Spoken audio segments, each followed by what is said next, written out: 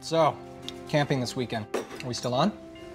I'm open, but what are we talking about here? Like, the woods. But remember, this could possibly be our last summer to do this because next year we'll be getting ready to go to college. Hey, Dad. Archie. It hurts me that I never got to say goodbye. Fred Andrews will always be a part of Riverdale. Didn't you say we're gonna turn this place into a community center, Red? You're right. Feels like it's time. Monroe and I will group the kids for boxing and MMA lessons according to their age. I keep the gym open until 10 so kids like my brother have a place to hang after school. What do you think, Mom? Your father never would have believed this. Everything you've been building here. as well as you fill them out, you're not actually considering fighting crime in those tights, are you? Of course not. I'm gonna need a mask. I'm not paying for your crimes. I merely told the truth. I told the world what you are. I'm no stranger to scandal. That's what it means to be a lodge. There's so much about your father that you do not know.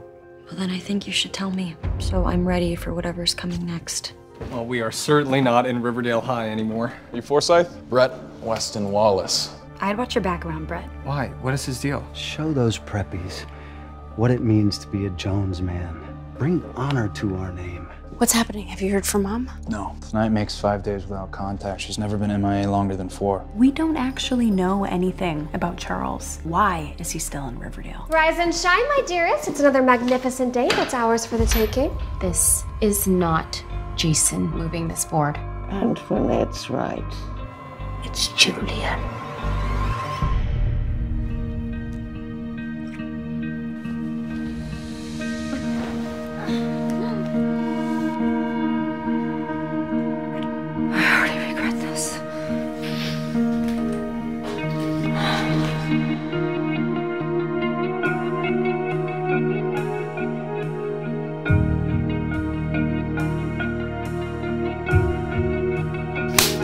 Where's that foreplay?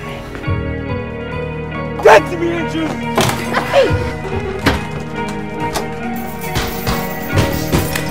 Shut your mouth!